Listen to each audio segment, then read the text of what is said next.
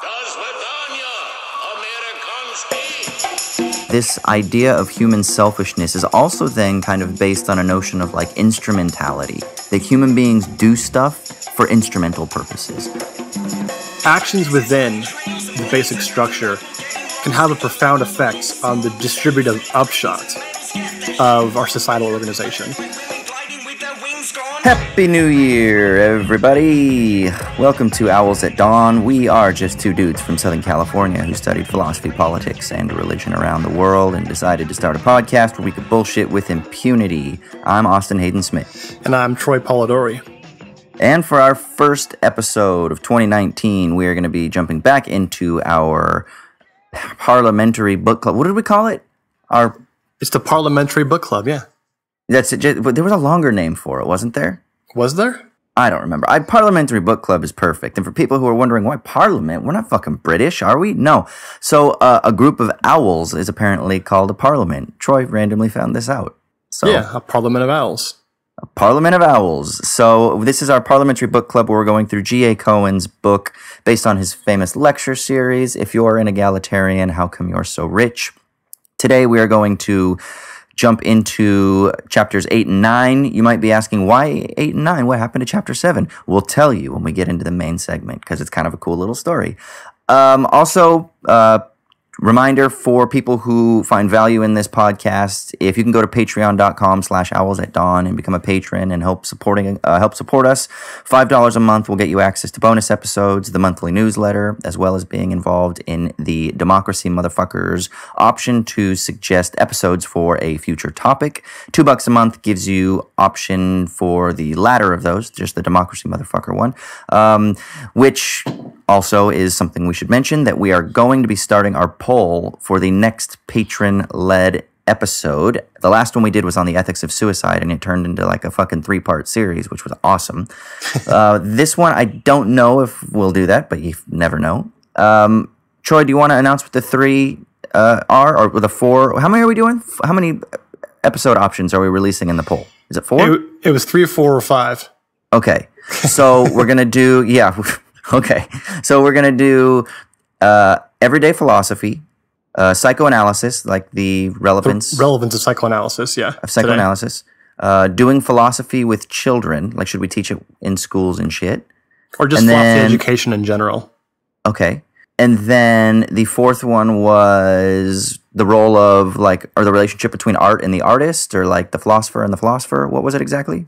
Yeah, I think just kind of generally, I think the recommendation was um, sort of what do you do with artists who have, you know, sort of objectionable personal morality or actions in their history, but their art is um, something commendable. But I mean, we can just talk about generally the idea of separating the individual from their work. Separating the sin from the sinner, Troy? I mean, who wants to do that though? Love the sin and the sinner. Love the sin and the sinner. Yeah, so uh, those are going to be the four that we're going to put up in the Patreon poll. By the time this episode is out, which is going to be like a, a day or two after we record, it will be live on Patreon. So if you're listening to this and you are a patron, go over and make sure to vote in the poll and select one of those four. If you're not a patron and you want to get involved, go to patreon.com slash owls at dawn and you can find out how to get access to the Democracy Motherfuckers tier. Additionally, uh, if you want to write us a review on iTunes, um, as long as it's a five star review, you can ask any sort of question, and we will, as long as the question is not uh, incredibly personal or you know intrusive, we'll answer the question. It has to be something that we can answer in like, you know a couple of minutes, and maybe we'll turn it into a longer thing, but it has to at least be the kind of question you could answer relatively quickly. Um, and pretty much it's open season on that. So you can ask whatever you want, be it funny, uh, inquisitive, or whatever. So leave us a review on iTunes or on Spotify, and we'll have that figured out uh, fa- fairly soon. And as long as it's five stars, we will answer the question that you write in your review. Sweet.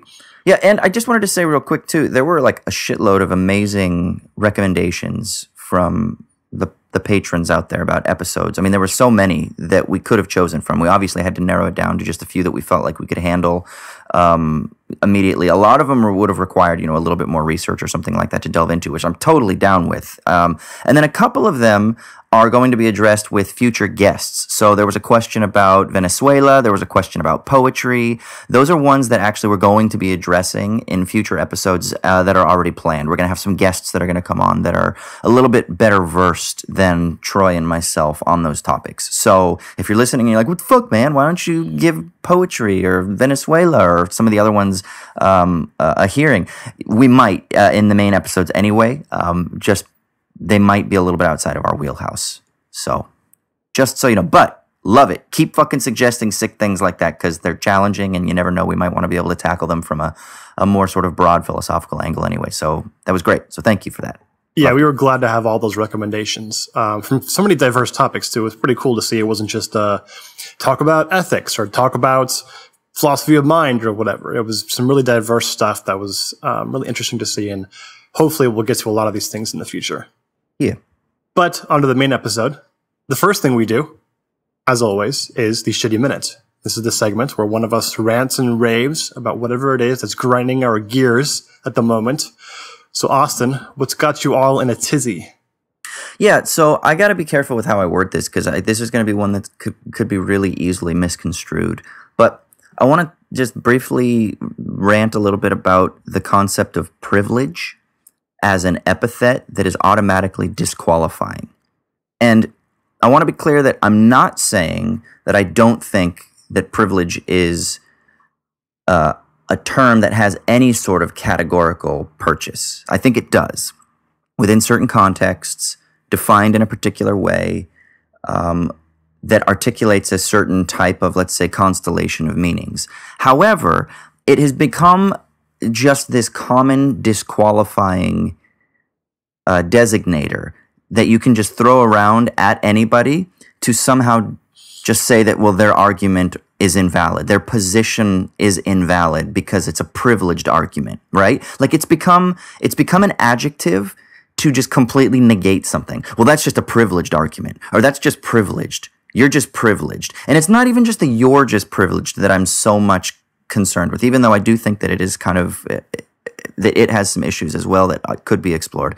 But it's that it's this adjective that's now described towards an argument that the argument is privileged. And the thing is, is eh, regardless, I mean, we could get into a debate on how far we take logical fallacies, but it just seems to wreak so much of a genetic fallacy to me, right? And I think so many times people are using this argument simply because it's something that they don't like because it somehow seems to be intellectual. And if it's an intellectual argument that somehow, therefore, it's ivory tower, it belongs in the seminar room, and therefore it's a privileged argument because it's some sort of bourgeois rationality. And I think that there's that we really need to be careful when we use that because I don't know, it, it doesn't really seem to be a very clear delineator of what is actually inherently problematic with the argument that is being categorized as privileged. It's just simply used as a sort of vulgar term. And I don't know. It, it just it seems to really stifle thought rather than try to productively engage with the apparent contradiction or paradox that's being proposed. And I think that's fucking bullshit, man. And so this really started to like come to my attention. I was recently on Rev Left Radio with Brett, and uh, in Twitter afterwards, we got amazing feedback on the on the episode. But one person did say that they loved the conversation, except for when the quote private school Marxist started talking about anarchism. Which, first of all, is going to be my future band name, just for ever. The private school Marxists, a hundred percent. Um, but Brett was like, "Private school Marxists? Are you talking about me?" And I was like, "I'm pretty sure it was directed towards me because I mentioned the private evangelical school that we went to, um, and I did go to a private elementary school uh, for a little bit in Orange County once my mom moved us from LA. But one of the things I started thinking about, I was like, so interestingly enough, this person discredited me. I mean, they were being a little bit cheeky because we actually had like a really nice back and forth after that, but they were being serious in a criticism. And the thing that I thought was so interesting, I was like, so I'm being I'm being discredited because apparently I went to private school and that was like my first real introduction, like in my formative intellectual years to Marx, right? But the strange thing is they're kind of also subtly indicting my mom who was a single mom who uh, didn't have the same sort of, let's say, privileged background that I was afforded. But because she was able to kind of like relatively climb the social ladder in such a way and then moved out of the ghetto of LA down into Orange County and worked multiple jobs so that I could go to a private school. I was a little bit kind of like so in a way then you're kind of like discrediting what my mom did to make sure that her little boy had opportunities that she didn't have. You know, whose father died on her lap when she was 12 years old and whose mother was paranoid schizophrenic and was homeless her entire life. Um, and so my mom was on her own at 12 years old. So like but then what my mom did is she wanted to guarantee that her little boy didn't have that. So as a single mother, she ensured that that was the case. And then she put me in private school because she wanted me to have a good education that she didn't have. And so I was kind of like, so there's this like invalidating uh, approach when you wield that term. And I was kind of like, I don't know. There's something strange about that. That that that I understand working class struggle, and I want to side with working class struggle, and and I'm, I'm working through kind of like how to define the proletariat now, and I've been reading a lot of Hardt and Negri, and I know they get a lot of shit for kind of trying to think through a different formation of the working class. But I do think that there needs to be a different sort of understanding of proletarianization, uh, especially in the age of like late capitalism, um, that isn't just reducible to people who are have like surplus labor extracted uh, in the same way that you know 19th century Marxist formulations had. Um, so so I'm kind of like working through that and trying to figure out like how to still be sensible or sensitive, let's say, to the needs of like genuine like uh, working class under like typical capitalist formulations, and then maybe expand that out and broaden that out to to different categories, similar to what Cohen does in uh, one of the previous chapters uh, that we did. I think it was chapter six. Um, yeah, go ahead, Troy. Yeah, you know what this sounds like, Austin. Hmm. You know, I just I can't even fathom how privileged you'd have to be to whine about privilege what meta privilege you must have in your private school Marxist education to spend this time learning about privilege. Hmm. That was supposed to be a joke. Yeah, I know. No, no, no, no. I know. Yeah, it, it's so stupid, right? I mean, we've talked about hypocrisy critiques a lot on the podcast, right? And just how they're they don't tell you anything substantive about the argument or the idea being discussed. And even more importantly, you you said this already, but I want to reinforce it it's a conversation stopper. Like look at it from a speech act theory perspective. What it's right. doing is trying to stop conversation, trying to stop discussion, which on certain occasions maybe is okay if the, you know, discussion is like violent or harmful or whatever. But the vast majority of the time, it's just someone's way to like to get someone else to be angry or to piss off somebody else or to feel like they owned somebody, which is all right. just childish and stupid. Well, and it's anti dialectical and I mean that literally. The point of the dialectic, of dialectical reason, is to find an aporia, identify a contradiction, a paradox, and you productively work through that because you recognize, as Bertell Ollman makes clear, that there is an internal relation between these supposedly discrete units, right? And it's exploring the internal co constitutive relation between these elements that we find to be in a paradoxical differential relation and figuring out how it is that we can work through that paradox. And that's what the dialectical approach must be unwaveringly committed to if you are going to be somehow in the Marxian tradition. Now, if you don't want to if you don't want to kind of like perpetuate that and you want to kind of think uh, within a different framework, that's fine. You know, some sort of positivist rationality or something like that. But if you're going to be committed to the Marxian orientation, then there is a sort of commitment to the dialectic. And to try to just simply stifle any sort of conversation because it somehow is something that you find, you know, threatening or repugnant or something like that isn't necessarily the immediate orientation that ought to kind of like define a Marxist critique of political economy or culture or whatever, which kind of all flow and circle around a similar like matrix, right? So I don't know. I just found it very strange. And then I also, I've been wondering through this. I don't really know how to think about it. How do we think about somebody like my mother who is very working class, um, and maybe not even like traditionally in the sense that she like worked in a factory or anything like that, but just she comes from an impoverished background, comes from a very poor family in New Orleans. And then, like I said, she had her own immediate family life where she was on her own at 12 years old. And then she works in such a way. And yeah, granted, maybe she had certain privileges as being like a beautiful white woman, you know, um, even though people think she's Mexican because she's super, super fucking tan. Um, but it's just like the French, and she's got like a. She's got she's got like an Elizabeth Warren amount of Native American in her, Troy. um, but no, she's got like that dark French skin, and so uh, she looks kind of dark, and she's got dark features. Um, but still, she's she's a white woman and she's beautiful. So yeah, maybe that afforded her, and she's super charming and personable and sociable. So maybe those things helped her. Yeah, I mean, those are things that she's been able to parlay into uh, uh, helping her climb the social ladder, so to speak. But she did that in such a way to make sure that her little boy didn't have the same hardship she had. So then, do we look at people like their offspring now, and it's like, well, fuck you guys, because you guys are just privileged motherfuckers.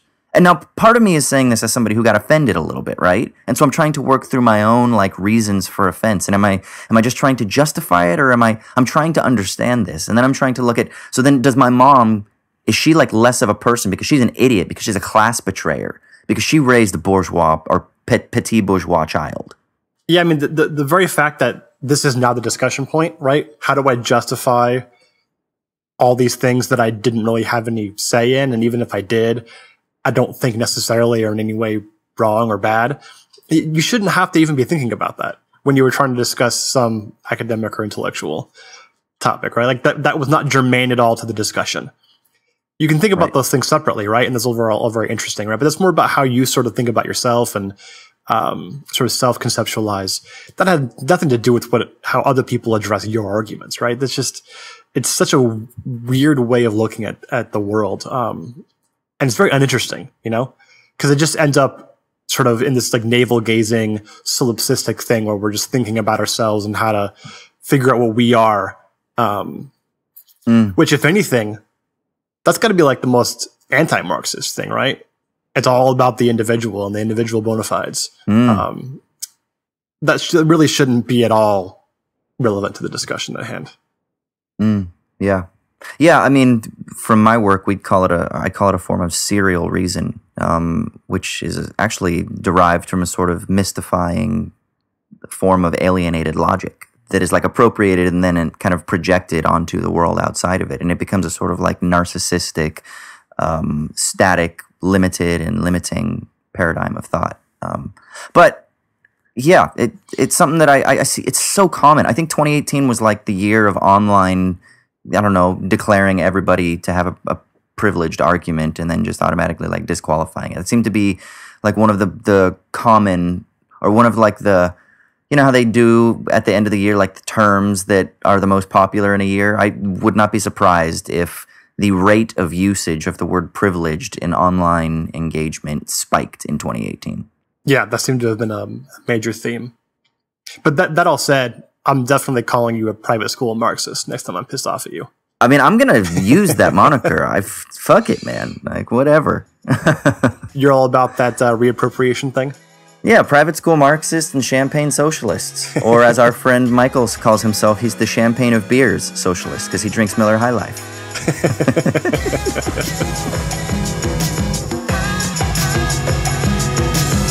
For our main segment today, we're moving on with part four, I believe, of uh, G.A. Cohen's If You're an Egalitarian, How Come You're So Rich? And we'll be addressing chapters eight and nine in this episode. But first, we should say something quickly about chapter seven, since we didn't cover that in the previous episode and aren't covering it here. Um, Austin, you seem to have had a, a pretty visceral reaction to this chapter. You want to describe that? When I first read it a few weeks ago, because you know I skipped ahead a little bit after we finished chapter six, and I'm reading along with us. I have I'm not reading ahead, right? And when I read chapter seven, I was like, "That is fucking amazing." Um, it's basically the title of the chapter is "Ways That Bad Things Can Be Good: A Lighter Look at the Problem of Evil." And I'll just read you the entire chapter because it'll take 30 seconds, maybe less. Lecture 7 could not be redu- reproduced here.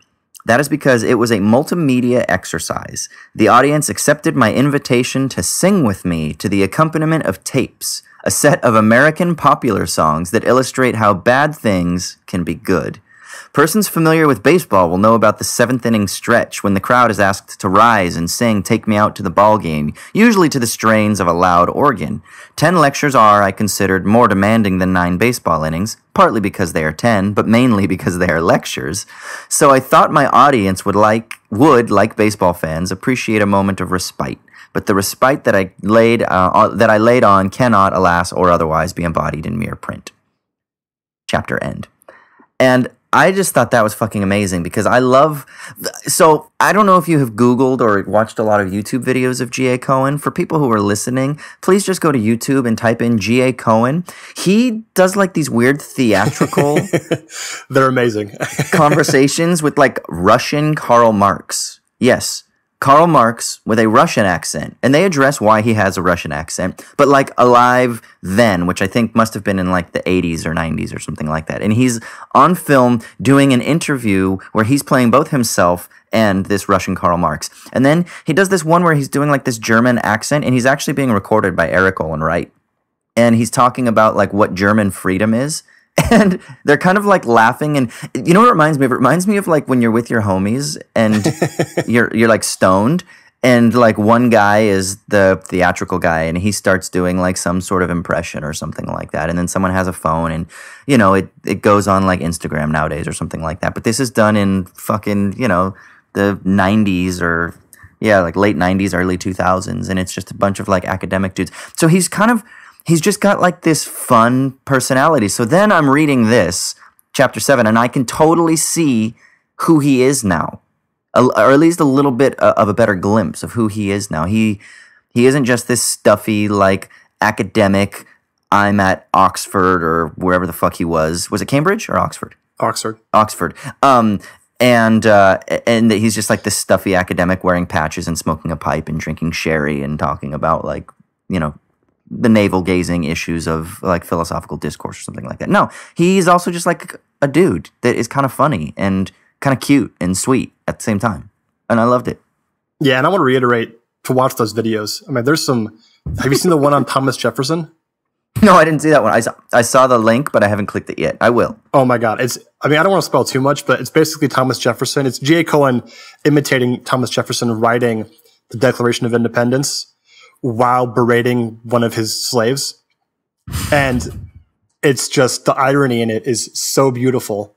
Um, he's really good at those. I almost wish these are apparently a pretty famous series of clips that he made that his students and other people knew about, and um, there's probably a lot more of them that are even on YouTube that uh, people in the know or who were students might have access to. But uh, they're fantastic. Definitely go and watch. They're only a few minutes each, so it's not a time suck or anything. Mm, yeah. I mean, and as somebody who grew up in and around the theater and is still involved periodically in that world, I love the art of performance. So, you know, this idea of doing this multimedia thing where people get up and sing, like he says, bad pop songs. So I'm thinking at the time, this is right around the turn of the century. So 99, 2000. I mean, what, what, what are you listening to at that point? What are bad pop songs? I mean, he could be listening to like 80s songs, 80s, 90s pop songs um, fucking Rick Astley or something like that. And everyone stands up and they're singing Never Gonna Give You Up together. And it's a bad song, but the joy that is mimetically spread, right? That there's like this, this affective contagion that is spread that produces joy in people's lives as you're standing together. It's like a sort of, without uh, the metaphysical baggage that comes along with it, it's sort of like a, the sensationalism of the church ceremony. The idea of the worship service is like bringing people together and sharing a joyful expression. And there's a reason why song and eating and dance has historically, throughout all of human history, been something that has bound people together. And I think that there's something just so fascinating about that. It doesn't have to be Shakespeare that is being recited in order for it to be a good thing. It can be, you know, something kind of shitty. You know, it can be just watching The Good Place. I'm not that it's shitty, but it's just something, it's not appealing to the higher pleasures, as Mill might say. You know, it's the simple lower pleasures that can be great. And, uh, and I think there's something fantastic about that. Yeah, I mean, I, I tried to find something about this presentation from chapter seven, but I couldn't find anything about it. If anybody out there does know of any recording or accounts of um, this lecture, definitely get in touch with us because we would love to see that. Absolutely, man. Oh, fuck. I hope there's a video of it. okay, so then chapter eight, the title of it is Justice, Incentives, and Selfishness. So, Troy, do you want to give a little overview of what's going on here? Yeah, so justice, incentives, and selfishness. Uh, Cohen's uh, main point here is to talk about um, inequality and selfishness and the relation thereof between the two. Um, and he begins talking about or mentioning the fact that there's in sort of political philosophy of the day, um, since we're getting into this idea of talking about normative political philosophy um, that he's tried to argue um, in the previous chapters is necessary move away from sort of old school traditional Marxism. Um, there's occasionally a defense of inequality, uh, more than occasionally, a defense of inequality, um, given the status quo is one of inequality and inegalitarianism. And he says that the two, there's sort of two modes that these defenses of inequality come from. Uh, or come in, and they are the normative mode and the factual mode. So the normative mode would be that it is right or acceptable that there's some level of inequality to, between people in society. And the factual mode would be that whether or not it's right, inequality is inevitable between people in society. Um, and he wants to sort of talk about how traditional Marxism views this notion that inequality is is actually good, or maybe it's actually inevitable, especially the latter. Um, and he has a bit of a difference between the old school Marxist conception um, and his own. Actually, more of like he, a point of agreement and a point of uh, sort of dissension between that. Did you see that as well? Yeah, well, because he kind of been he's basically saying that the the factual defense of inequality it, it kind of is traced to an essential understanding of the human as being selfish. Right. And so, undergirding this, there's a theory of humanity. There's a theory of the human that is essential, and it's based on human selfishness. And um, I think there's something really important to understand here that this idea of human selfishness is also then kind of based on a notion of like instrumentality, that human beings do stuff for instrumental purposes. You do stuff in order to get something. But but what you're doing in order to get something is all about sort of like satisfying your own selfish desires. So there's like an instrumentality and a selfishness that is essentialized in this factual defense of inequality that, that needs to be understood. Right. And he says that um, he obviously disagrees, just like the old Marxist view does, with the idea that human nature is static and unchanging in that way, that it's just inherently selfish and that's it.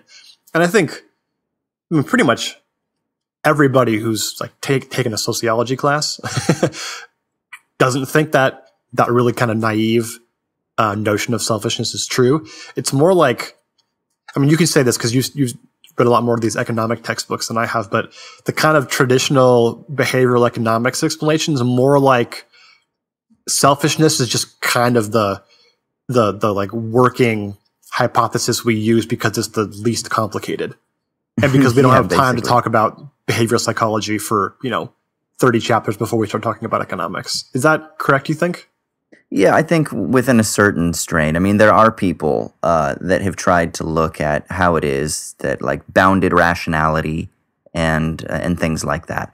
But for the most part, let's say in in bourgeois economic theory, we might use if we're going to use a proper Marxian term. Let's say uh, the neoclassical marginalist school of of political economy in particular, they tend to view it's almost like that it's the first impulse you know like if there's like a first nature and a second nature maybe of humanity the first nature is like this biological selfish impulse that is kind of just presumed but then they're like but then of course you know we can like change that and people can be nudged like that's a big there was a book that was called what was i think it was called nudge a couple of years ago that it's all about like you know how you can nudge people's behavioral orientation or whatever to what it is that they consume and what they desire and whatnot um, but nevertheless it's all built on this sort of prior principle or this prior understanding of human nature as somehow being selfish. And I hear this all the time when I talk with people. When they're like, well, do you really think that if you tax rich people too much, then they're going to be incentivized to invest their money? Which again, it's all being appealing to this idea of how do you understand human incentive? How do you understand human nature? And the, the presumption is from pro market types is that people are only going to want to invest money into productive capital if they are uh, incentivized in their selfish human core. That somehow they're going to get a, a, a valid return, some sort of valuable return on their investment. And so that's what we need to do is we need to, you know, uh, this is the old invisible hand sort of parable of the bees stuff is you need to kind of uh, appeal to the vices um, even though it, he actually talks about that. I think Cohen actually mentions that um, at one in one of these here. Maybe it's this first one. You need to kind of appeal to people's vices so that you can stimulate that vice towards selfishness, but then at the same time realize that benefits are going to kind of consequentially issue therefrom, And I think whether you know, intended or not. Yeah. Yeah, and one of the biggest issues I have with, and Cohen talks a lot about this at some point, although in a bit of a different vein, is even sort of traditional um, capitalism itself doesn't can't be viewed that way because the entire thing depends upon this social structure in the family, and the family is like got to be one of the least selfish institutions that exist. Uh, is there still moments of selfishness within the family, right? I mean, you want your kids to be just like you a lot of times, or uh, whatever, right? Um, but definitely there's self-sacrifice involved in being part of the family, as well as any social grouping, and the family is just the necessary one. Um, so capitalism couldn't exist without this like nuclear family, or at least it didn't historically. I guess it could have in like a counterfactual, you know, possible world, but um, it, it it would have been totally different without the family. So, and that's you, you just you you're not like born 18 years old with an education, with proper nutrition, and your full grown body and no sicknesses, and then enter the marketplace. Like, if that were the case, then sure, we could talk about all this individual uh, human capital and selfishness and all this stuff, but that's just not at all a picture of the real world. Yeah, we kind of talked about that on our episode with the guys from Left Out, uh, which I, I think I attributed to Graeber, and it was where David Graeber says something along the lines of, you know, we live to be capitalists so that we can go home and be communists. You know, Yeah, all the things we care about in life are involving social groupings that are outside of the market. Like the market fucking sucks. Unless you're one of those sociopaths who just only cares about that. We look- Everyone looks at those people and thinks they're sociopaths, right? Like there's something wrong with their brain that they're obsessed with purely market driven forces. right? Yeah, you don't get too many people that are like, I want my kid to grow up to be like Gordon Gekko. You know, who do you what do you want your kid to be? A predatory lender. That's what I want my kid to be. so, do you want to talk about? Okay, so the so the selfishness defense of inequality, Cohen says, has two premises. First, there's a human nature premise, which is the one we talked about. The people are by nature selfish, and then second is the sociological premise. And it's that if people are selfish, whether by nature or otherwise, then equality is impossible to achieve and or sustain. And the interesting thing is he says he used to reject both of these premises, but now he's become more sympathetic to the sociological one. Um, and so, and again, let me just repeat, the sociological one is so that if people are selfish, then equality is impossible to achieve and or to, to sustain. And this is where he kind of goes into an interesting sort of, let's say, maybe like a materialist analysis. And the argument that he ultimately presents is that, okay, let's say that people are selfish. It's not because of human nature. He kind of disregards that, right? He, he, he says that that seems to be uh, oversimplified, overgeneralized, and it doesn't really match with the facts of what we understand uh, about historical anthropology, uh, or, or the, the facts that we've derived, let's say, from historical anthropology, from our experience, anecdotal experience, our experience in the family. That just doesn't seem to make sense. However, there might be a sort of like uh, a way that we can say that selfishness does obtain in human culture, but it's because of capitalism, right? It's or it's because of the social structures that have induced a sort of selfish orientation. It's the symptom, not the cause. Right. Right, right, right. So then he says, okay, so then if that is the case, that people are selfish under those conditions, then equality is impossible to achieve and or sustain under those conditions is the argument, right? Right. So the sort of traditional Marxist answer to that, as Cohen describes it, is that, well, no, I mean, individuals are only selfish because of the structure that sort of incentivizes selfishness and trains them to be selfish. And so if you change the structure, then you'll change their desires, right? Change um, the base material conditions, and then the people will be different. And Cohen says he's less sympathetic now than he th- with that conception or that answer um, to th- this that part of the selfishness um, argument than he used to be. I thought that was pretty interesting because I wasn't quite expecting that. But then the way he just the way he explained it, I think makes a little bit more sense. Um, what he's trying to say with disagreeing with the kind of traditional Marxist um, argument against that is just that um, it's not the case, or it could be the case, we should say, that um, if human beings were sort of um, naturally, eternally, you know, uh, unchangeably selfish, then inequality would be necessary. He seems he says he's more sympathetic with that. Um, mm. And I think what he's trying to get to is this idea that you actually have to change the selfishness. Um, and people, people have to change in some respect individually in order for society to be different. You can't just have this, he thinks, naive notion that if you change the structure, you change the people, as if people are just nodes um, on a you know large map, and you change the map, you change the nodes. Um, mm. He th- he seems to be pointing at some idea where it has to be a both and. It has to be like a like a parallax view, right? Where mm. um, or maybe even like a more dialectical view, where the individual changes the social and the social changes the individual, and you have to have both arrows, both causal arrows at the same time to have the mm. proper effect. Mm. Yeah, I mean, and I, I really like this argument. Uh, I agree, actually, like a hundred percent. Um, maybe it's because I've just been so influenced by the work of Sartre and then people who have engaged with debates around similar concerns. So I'm really interested with the idea of subjectivity. Um, granted, we must say that like even people like Lenin were concerned with the idea of transforming people. You know, this this notion of recognizing selfishness or how capitalism affects our our rational and behavioral activities has been something that has consumed, you know, socialist theorists, political theorists for centuries.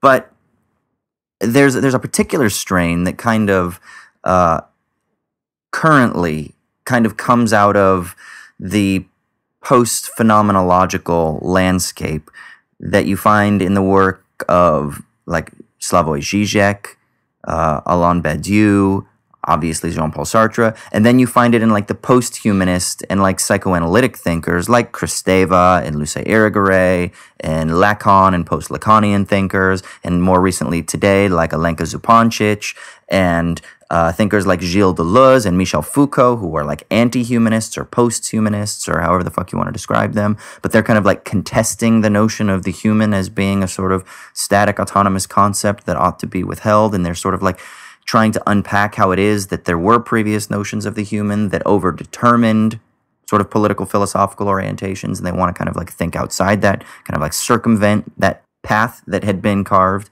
Um, and so for me, I'm very fascinated with this issue of how do we understand this complex swirling debate between structure and subjectivity, or between, let's say, the human or l'homme or uh, bodies and the material world? Or how do we understand thought and consciousness and rationality and matter? And these these binaries that are often set up, um, how do we complicate, how do we problematize those binaries so that we can sort of like unpack them and realize that, well, they aren't just these discrete separate spheres, but there is something more of, like you just said a minute ago, a dialectical or what I would want to call a co constitutive relationship between the two. Now, even though Cohen doesn't frame it in that way, in the way that I just did, he's hinting at something similar because what he says is he says, this nostrum says that for inequality to be overcome, there needs to be a revolution in feeling or motivation as opposed to just in economic structure.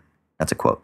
Now, the idea of feeling might be I'd want to know what does he mean by feeling? I don't think he means just simply like sentimentality, like the good feels, but I think he means something more at like the uh, embodied affective level. Yeah, I think and just subjectivity in general. That's why he leaves it so vague. I think that's what he means. Yeah. Yeah. So he's not just saying like sentiment. Yeah. And you know what? I think you're right to, to point out all this like post humanist and um, phenomenological stuff. I was actually thinking a lot more on the lines of just the, the current, current political uh, scene today and all the discussion and good discussion, I think, about things like post work societies, um, the universal income, and stuff like that. And all those things I'm very interested in and I think are, are often good ideas, or at least in part good ideas. But then I also think that there's this strain of thinking that if we just change the material conditions of society to be better, which I'm all for, then the rest of our problems get resolved in sequence, right? Mm. And that just seems to me incredibly wrong. Um, not to say that therefore we shouldn't change the material conditions, but that there's so much more that has to be done and worked through alongside and after that happens, if it were to happen. So you like you think about, for instance, what happens if all of a sudden the guillotines came out tomorrow and Mhm. we divide up all economic resources and material resources equally amongst people. Um, are things better tomorrow than they are today? I, I would think no. I would think they're a lot worse. But the hope would be that they could get better than they are before. Um, and so that, that's really vague, but I do have this notion that we are kind of built or sort of trained under capitalism. And that means like emotionally and effectively trained as well. And a radical change in that structure without a radical change in sort of our more affective and, and, and subjective dimensions would be like terrible for us. It would, it would result in lots and lots of unhappiness and depression and chaos and people who don't want, who really don't want to do anything at all, all day and just fall apart. Um, there's a lot more work that would have to be done than to just change the structural conditions of society uh, to make our world better. And that involves talking about these issues. And, you know, Cohen calls this the Christian social nostrum, which I'm interested to see how that comes out. Um, why he calls it Christian as opposed to like religious or, or otherwise. But, um, there's something there that needs to be talked about and needs to be kind of excavated because it's not a thing people like to talk about very much, especially in the left. Mm. I want to take this even one step further. And this is actually something I talk about in my book uh, that will be coming out this year uh, in a couple months. Um, That I would even say that unless there is also simultaneously a transformation of subjectivity, even the very proposals for the transformation of structure are going to be contaminated by the same serial or let's say capitalist or neoliberal logic that conditions them in the first place. Which means that if we are so constituted, then that means that even the sort of effects of our constitution, the effects of our rationality, the effects of our praxis, whether it's in thought or in action, are going to be conditioned by that serial logic that is conditioning us, which means that our proposals are going to be contaminated to some degree. Now, mm. some of them are going to be more contaminated than others to a greater degree or to a lesser degree, but the point is is that that serial rationality, that logic of capital that is constituting our bodies in the first place is going to also contaminate the effects of our thought and our praxis. So there has to be a way to dissolve. There has to be a way to perpetually dissolve the stranglehold, let's say, of these mystifying, counter revolutionary, anti dialectical forms of conditionality. And so you have to have a level of subjective transformation that accompanies the transformation of the structure and vice versa. And I would I would I would actually argue that they do. If you transform subjectivity, you are going to transform structure and vice versa. But the question is is how to what extent, under what conditions, and then how can you maximize for lack of a better term, free expressions of human praxis, those that aren't conditioned by the stifling logic of capital that it is that Cohen and others are trying to contest. Yeah, they're both the individual and the social, the subjective and the structural are necessary conditions, but they're both individually insufficient conditions. Right? So you have to have you have to have both at once. It's like the the classic turning both keys to to send the torpedo out. Right? yes. Yes, exactly. I like Okay. that. Okay, so then so now he turns to Rawls at this point. Yeah, so should So- we talk a little bit yeah. about about background on Rawls maybe for a minute? Yeah. So the main discussion point here, there's a lot to talk about with Rawls, but for Cohen is Rawls' difference principle. And there's sort of several parts to the difference principle, but That's the main most people concentrate on Rawls anyway, isn't it? That was like that's like the thing. Like in his two principles, everyone's like, yeah, yeah, the first principle, liberal rights for people, whatever. It's the difference principle. yeah, not a lot of discussion about whether or not people should have equal uh, access to public offices or equal liberties. Yeah. Uh, the difference principle is the one they talk about the most. Mostly because it, it kind of gets at both the left and the right of Rawls, right? So you have many different points of uh, contact with it. So the main there's several parts to the difference principle itself, but the main point that Cohen's talking about is the defense of inequality. So Rawls's uh, point about inequality is that um, in a sort of basic structure, so in a set of institutions in society, he calls it the basic structure. Um, that structure is just, it's fair, it's good, if and only if any inequalities that exist exist in such a way that they maximize the benefit of the worst off.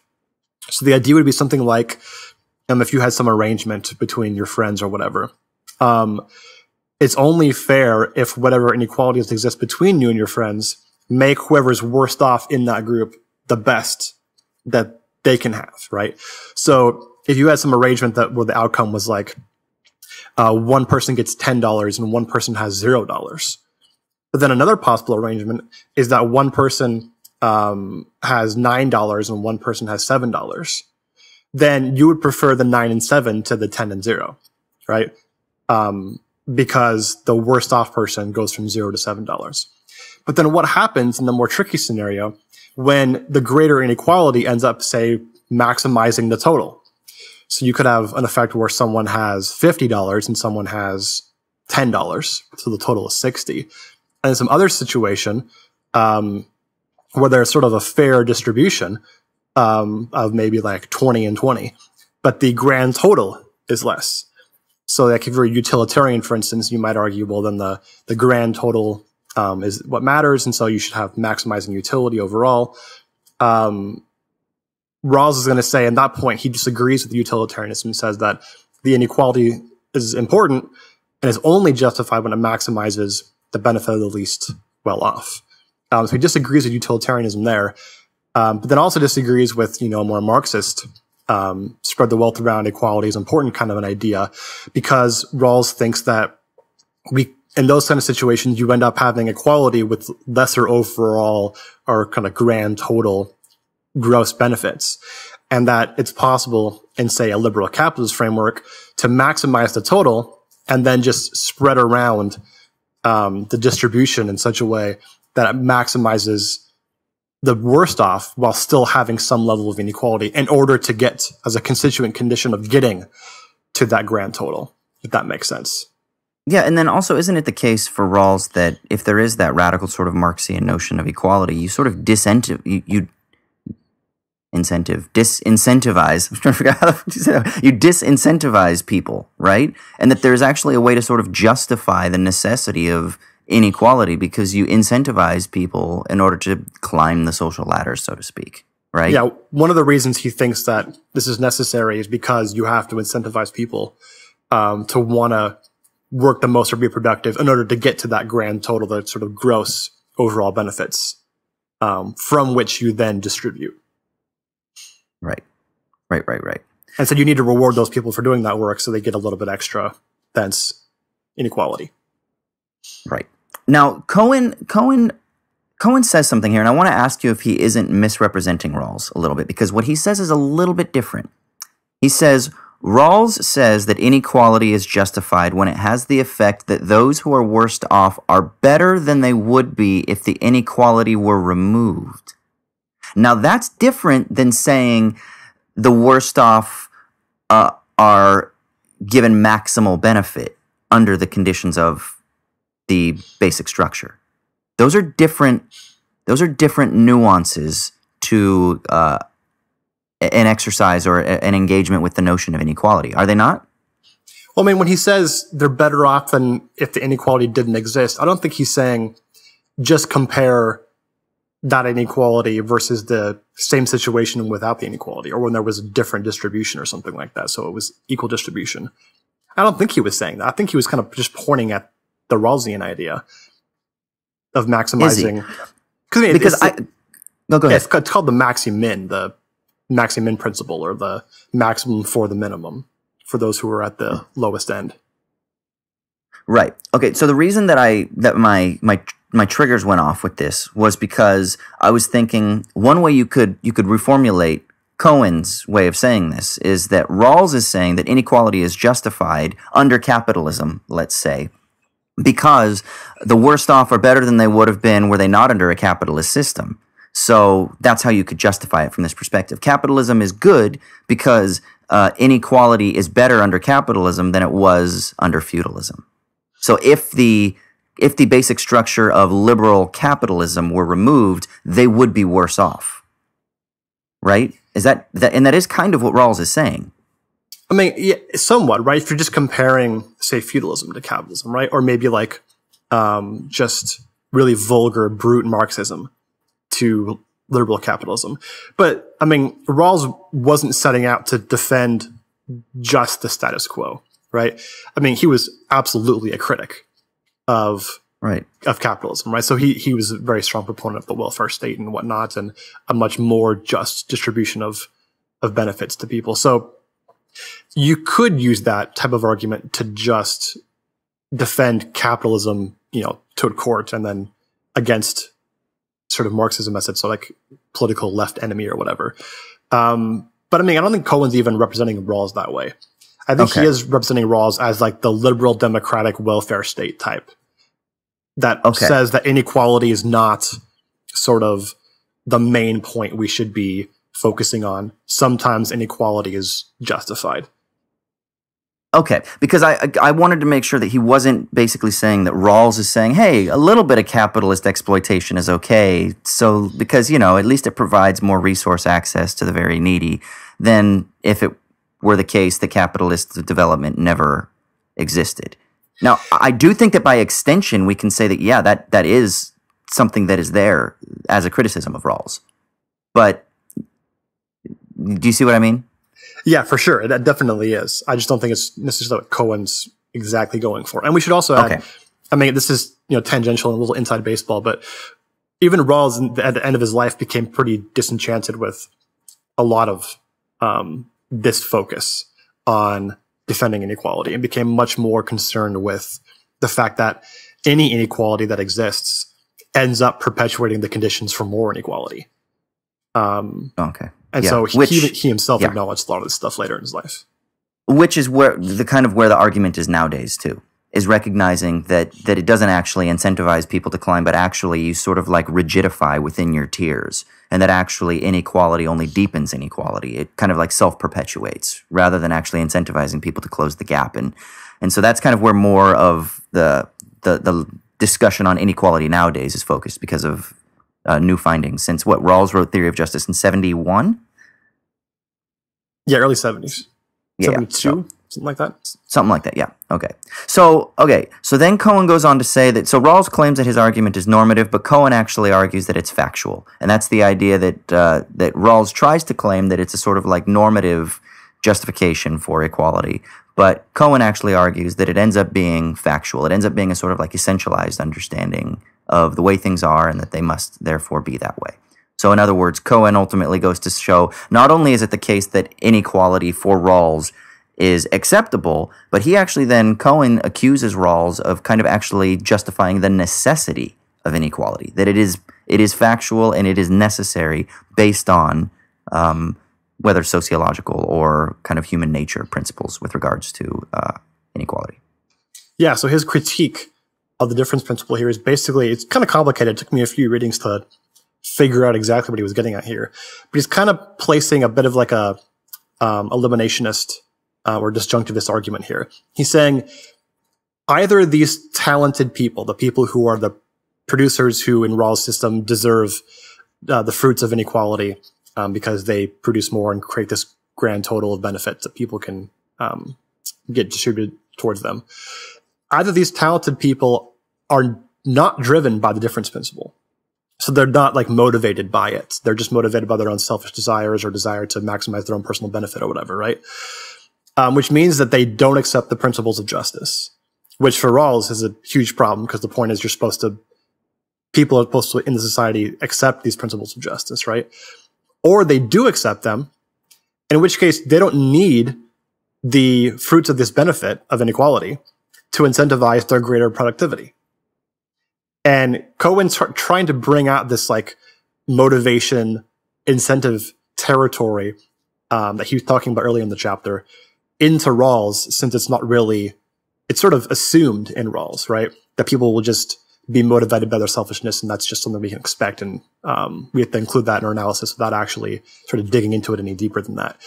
And Cohen saying there's an actual real problem here because um, either of those options is bad for Rawls. It goes against the idea of a just society.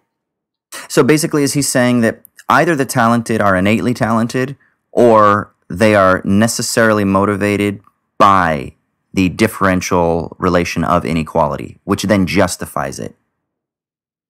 Well, justifies holding holding people down. Well, he's not talking at all about whether they're inherently or innately talented. He goes in this long screed about saying um, he knows that that whole idea is fraught with difficulties because what we mean by talent could just be what at that very moment happens to be, you know, have the most utility. And that could be like yeah, a really exactly. bad thing. It could be that you're really ruthless and an asshole and that helps you succeed.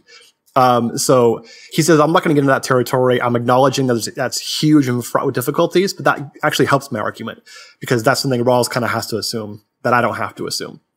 Um, he actually wants to focus on this idea that what are the talented people, whether they are really not really talented or good? What are these people motivated by? If they're motivated by the principles of justice, then they don't need the incentive of the selfish incentive of getting higher wages for their greater productivity. But if they're mm. not driven by the principles of justice, if they don't care about having a just society, then they don't accept the principles of justice. And part of Rawls' whole system is uh, a system is just or a structure is just if the people can fairly accept without reasonable complaint the principles of justice. Um, so Cohen's trying to sort of present a problem or like a an aporia here for for Rawls, mm. um, which is pretty easy to answer, and he acknowledges that there's a typical Rawlsian response to this, which is that Cohen's just misunderstanding what the structure of society is, right? Because the basic structure of society for Rawls are the institutions, right? It's things mm. like Congress and the laws and stuff like that. Those are the things that are either just or unjust. What he calls co- coer- like coercive structures in because they're coercive right. That's right. usually the reason why they are the basic structure. Well what, what individuates the basic structure from not basic structure? Well some yeah. things are coercive and some are not right? So yeah they tell you what to do and what not to do. Yeah the police are part of the basic structure so they can be just or unjust. Yeah he's not talking about like normative behaviors like social pressure and things like that. It's it's the juridico political framework when you when you go to the pub or you go to like the uh, the venue for a concert and you're thinking about how to act and how to behave, right? Are you going to go up to somebody and say something kind of nasty because you've had too much to drink or you want to take them home at night or whatever, right? That's not an action. That's like an ethical action, right? Or an unethical action, but it's not like a just or unjust thing, right? Only social um, institutions can really be just or unjust. It's kind of the Rawlsian position.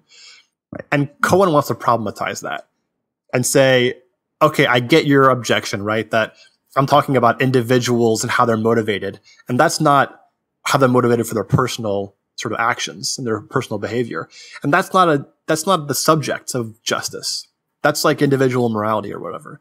And Cohen wants hmm. to say the only way you can do that, the only way you can separate the individual moral, uh, moral stuff from the social structure stuff is by saying the latter is coercive and the former is not. But that's totally false. Because in every way that the social structure stuff is coercive and it has profound impacts on people's behavior, so does right. the individual moral stuff. So if you right.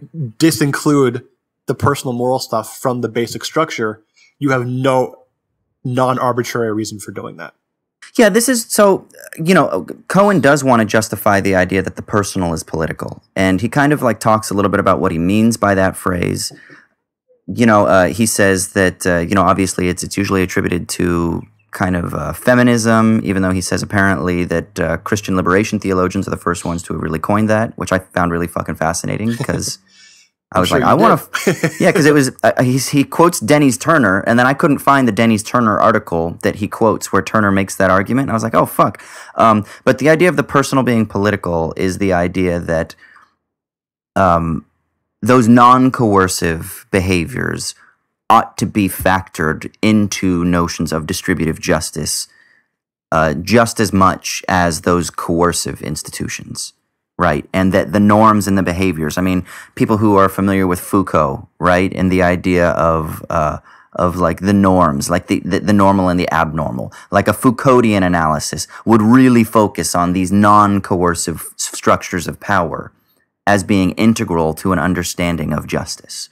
Rawls is not as concerned with that. Cohen wants to shift Rawls in a different direction and say that Rawls is missing that idea uh, of the personal as being something that is political. The personal does have bearing on justice. We can't simply exist at the level of the politico juridical, or the juridico political, I mean, I'm sorry, um, in order to try to understand what justice is or how it is we understand um, societies of fairness.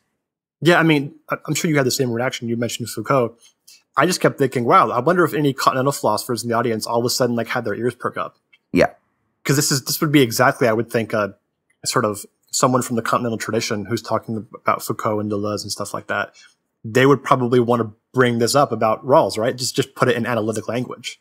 Yeah. I mean, I think it's important to this is something I was really fascinated with is that Rawls's thought experiment, because that's really what it is in his theory of justice. It is it operates at a high degree of abstraction, right? And it is a thought experiment that I think is meant to stimulate and motivate action and rationality. It's not really meant as a barometer by which a government would sit there and say, well, in what way are we uh, are these two principles of justice obtaining? You know, is, does everyone have ensured basic liberal rights, and does everyone have equality of opportunity? And then now, are we able to justify inequality based on the this idea that the the worst off are uh, their well-being is maximized under the conditions of inequality within the basic structure uh, and in accordance with these two principles? Like, I can't imagine like fucking Congress people sitting around doing that, and I don't think it's intended for that. You know, no, it's like, not definitely. It, it's definitely a thought experiment. So then my question is, is I have no problem with engaging at the level of ab- abstraction. As a matter of fact, I think that all thought is ultimately an abstraction from materiality. The question is, is how do we use abstraction? How do we employ abstraction? There's productive abstraction and then there's like violent abstraction. Rawls's formulation to me is extremely formal. It's extremely abstract in the violent sense, in the simplified sense, in that it operates by the doctrine of external uh, external relations. There are these discrete units, and they can be analyzed in their separate sort of external relation to one another. Whereas I'm always going to want to like complicate things by bringing them together into an, a, a relation of internality. They're internal relations. There's co-constitutive things. We can't talk about this supposed idea of equality of opportunity as being a discrete unit separate from liberal rights. And we can't talk about liberal rights and the insurance of liberal rights unless we understand what the human is. Like he's presuming a certain notion of the autonomous individual, I think.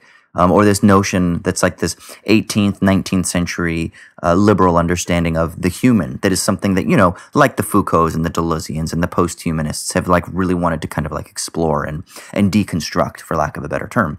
And so for me, there's so much oversimplification in this high degree of abstract formality in Rawls's formulation, Rawls's formulation, that Cohen's argument for me was really appealing because it does tend towards, like you said, the concerns of a lot of kind of the continental philosophers uh, or the continental tradition. And so that's why I really vibe with what he was trying to do in in problematizing Rawls's formulation. Yeah, and I think we should add also that I mentioned this earlier, but when you know, theory of justice comes out in the 70s, right? Rawls mentions and goes at great pains to describe the fact that he's making ideal theory as opposed to non-ideal theory, which is more on the ground and takes account of um, empirical observations and all that good stuff. Mm. And that's, I think, justified because before Rawls, there just wasn't really this way of doing political philosophy. And I think if you charitably interpret Rawls, he's kind of trying to do what Cohen was trying to do, um, or trying to argue for this normative political philosophy, right? But of course, Cohen doing it after the end of Marxism, Rawls kind of doing it in the midst of, you know, democratic political liberal capitalism. Mm. Um, but they're kind of trying to do or a similar sort of thing. Um, and Rawls himself, I think, puts out this theory of justice, right? It changes the whole landscape of political philosophy. It, it basically creates analytic political philosophy, you know, as a major um, sort of discretionary or um, tool for analytic philosophy. And 30, 40, whatever years later, he writes Justice as Fairness, which is like the restatement of a theory of justice. And basically, in no uncertain terms, says a lot of empirical observations have been made in the intervening time and kind of distances himself from this idea that inequality is justified. Um, mm. You know, he does it from a more like scientific empirical observations type of setting, right? But I don't know that it matters the means as long as, you know, the end is, hey, we got to rethink this whole inequality thing because it's not the way we thought it was. Mm. Um, so yeah, I think that there's tools from within Rawls, you can make these same sort of arguments. And um, Cohen's coming at it from a different perspective. I don't know if you wrote this before Justice as Fairness, but um, I don't think Rawls is like all of a sudden like a, you know, socialist or anything, but he's certainly came a lot closer um, at the end of his life. Hmm. Interesting.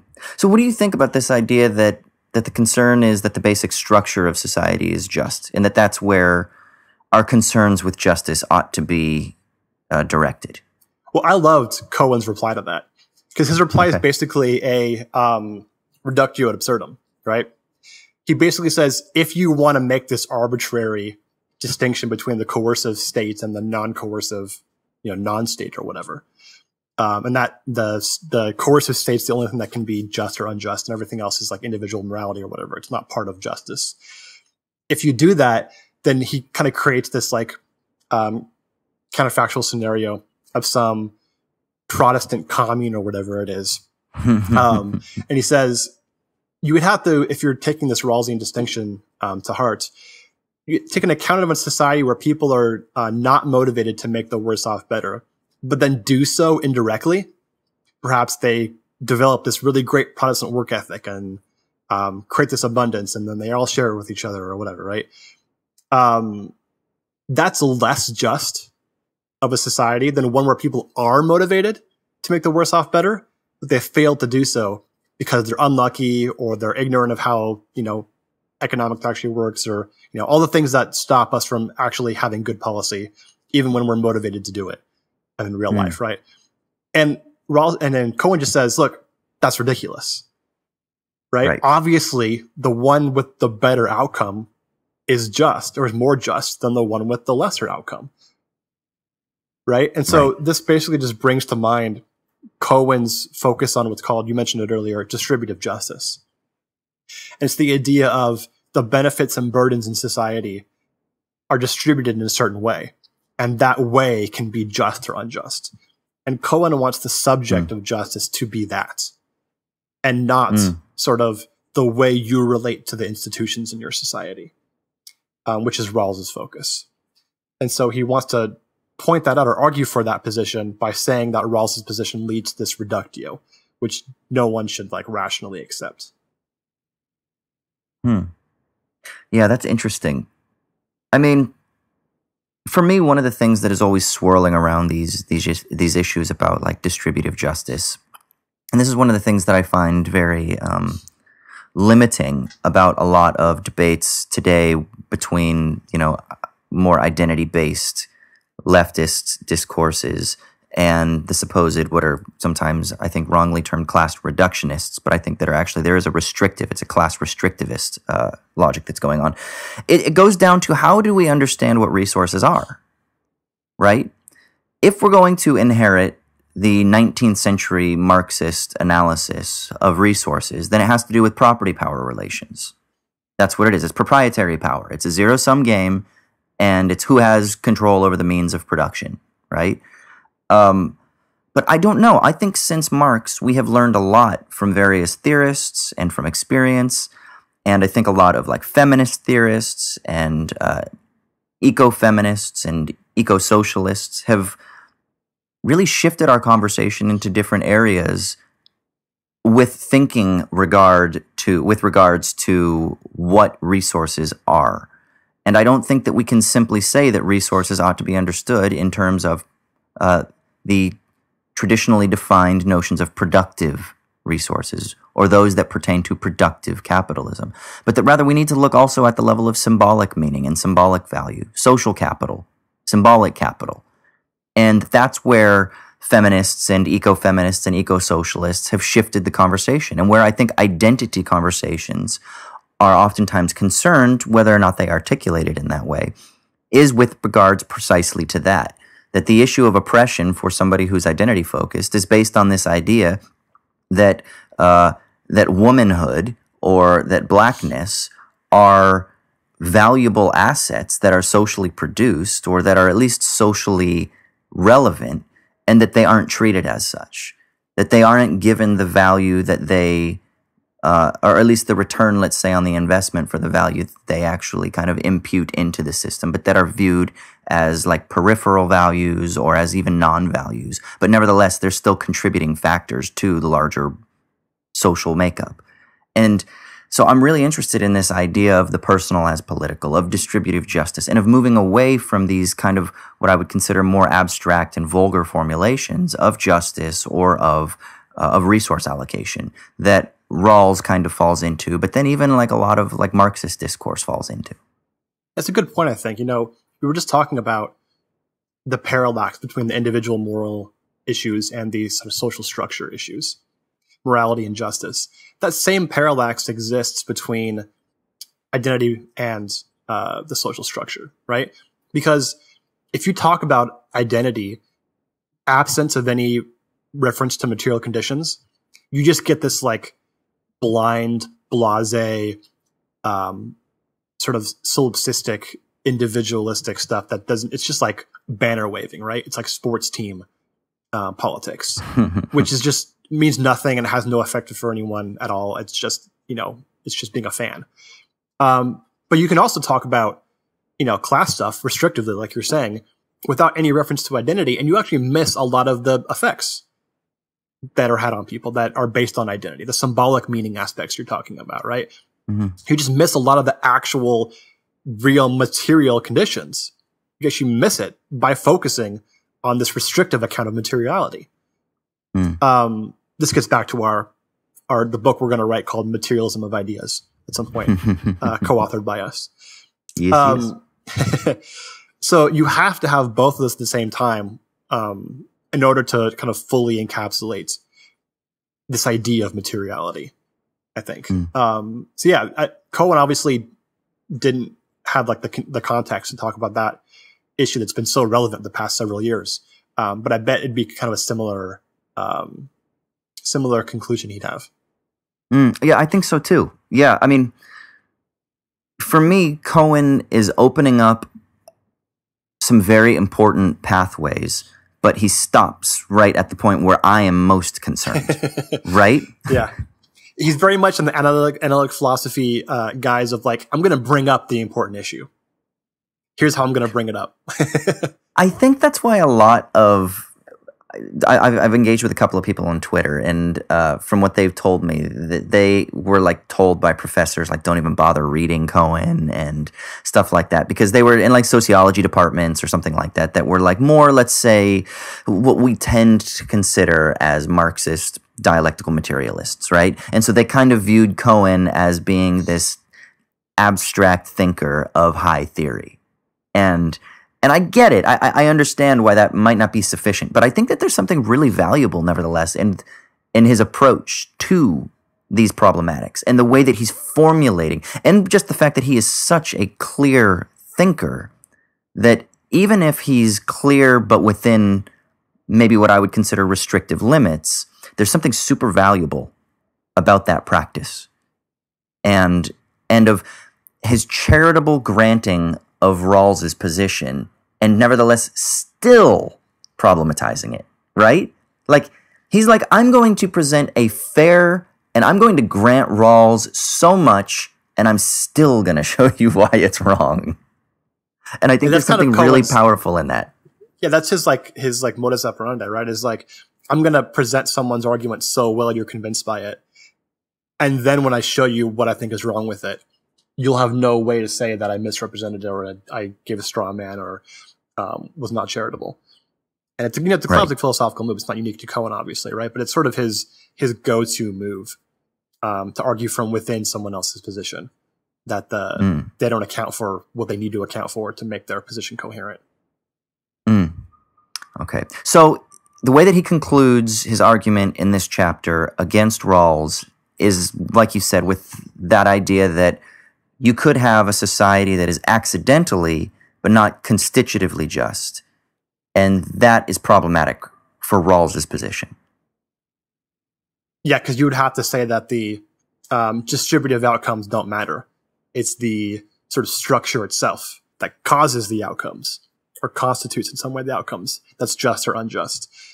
And Cohen just wants to say that no one would accept that if you really came down to it. And I guess you could, like any reductio, just accept the reduction, right, to absurdity, accept the absurdity, embrace the absurdity. Mm. Um, and maybe people do that. I don't know in response to this. But I mean, I think I'm personally, at least at this very abstract level, uh, pretty down with rejecting the absurdity and saying, yeah, the there's no way that's just the social, the sort of coercive political structures that are just or unjust. That's just an arbitrary distinction. Um, there are so many things about life that are involved with whether a society is just or unjust that are not part of the coercive state institutions. That just Mm. seems obvious. And that's his focus really in chapter nine, right? On where the action is on the side of distributive justice is how do we understand that that bifurcation that is set up by Rawls between the coercive and the non-coercive, and and how then do we kind of like figure out what justice means if we reject that simple binary? Yeah, I really liked this chapter um, because it was very simple. It wasn't anywhere near a super complex argument or anything. Um, but his basic position is that you can look at things like his two examples are the family and the and sort of the market economy, and saying that actions within the basic structure can have a profound effect on the distributive upshot of our societal organization, even when they're governed by these neutral, quote unquote, Rawlsian just rules, right? And so that Ra- Rawls' notion of justice, therefore, ignores this whole dimension um, that's outside of the coercive state institutions. But why should we care so disproportionately about state coercion as opposed to everything else? Like, what motivates us to only focus on that as being the subject of justice? And there just isn't really a good reason. Okay, so this goes to the heart of like my ultimate criticism against Rawls. Rawls has no understanding, or at least has no engagement with systems theory, right? Like he just doesn't get the fact that like he he seems to I've mentioned it a couple of times. He operates at this level of like what is sometimes called like the philosophy of external relations, right? Or the doctrine of external relations.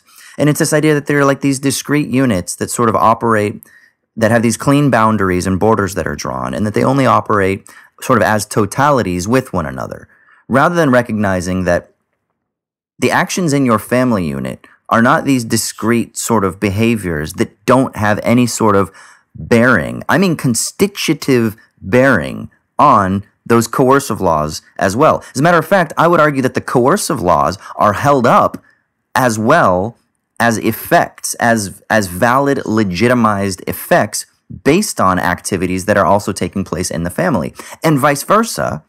That the family's non-coercive, quote unquote, non-coercive behavioral activities are constitutively related to the coercive legal frameworks. So, uh, contract theory, for example, does impinge upon a marriage relation.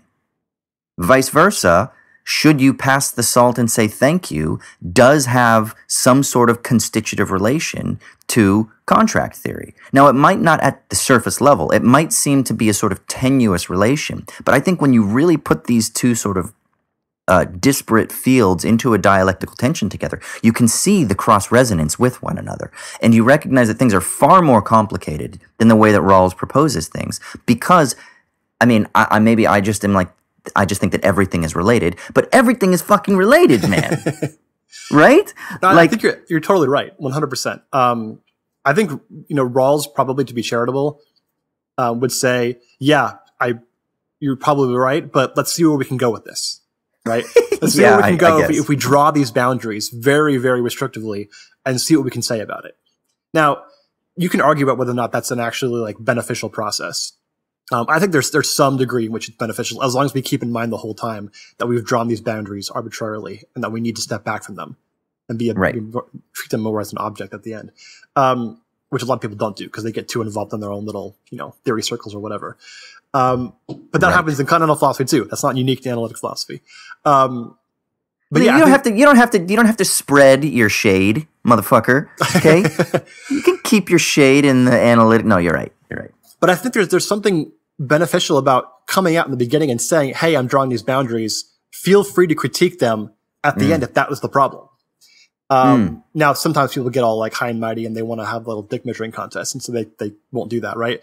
But I think there's some something that's that's good about doing that, and then you know we can come at the end and say, "Look, those boundaries that were so restrictive, we have to broaden them," because it's absolutely true that the expectations that a woman has as far as taking care of the home and, and children and stuff absolutely affect how much money she's going to make and the freedom she's going to have in society, regardless of what the um, like actual laws on the books say.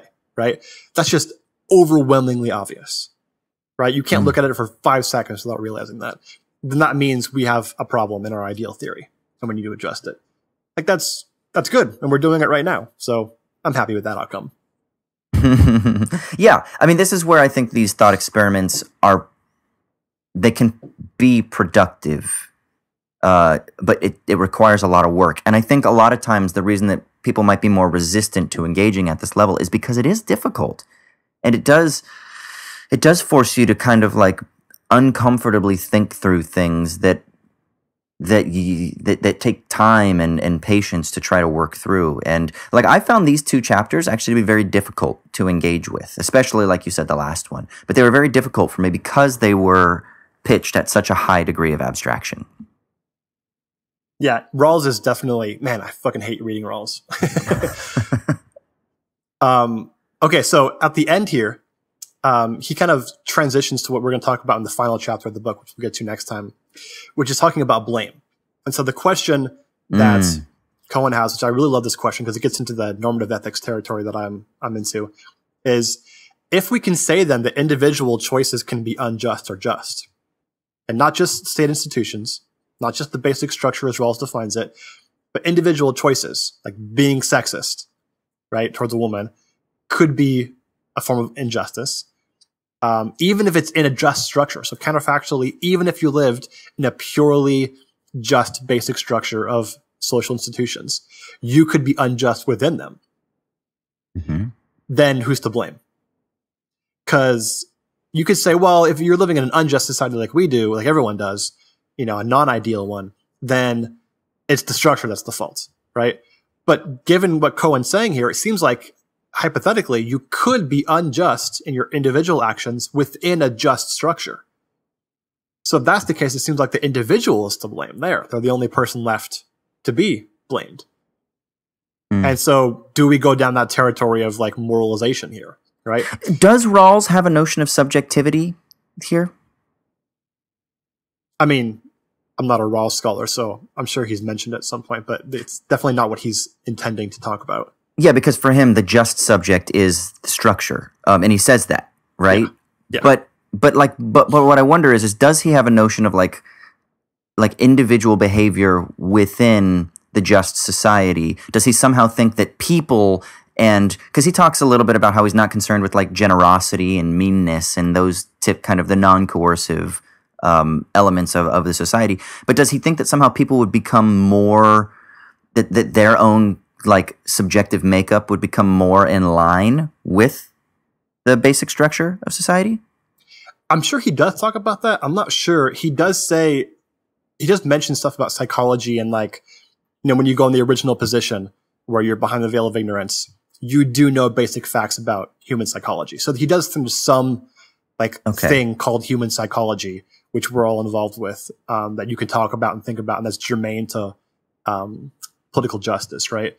But I don't know if he has any account of whether or not, or how that psychology changes in relation to changes in the basic structure. I'm not sure if he does.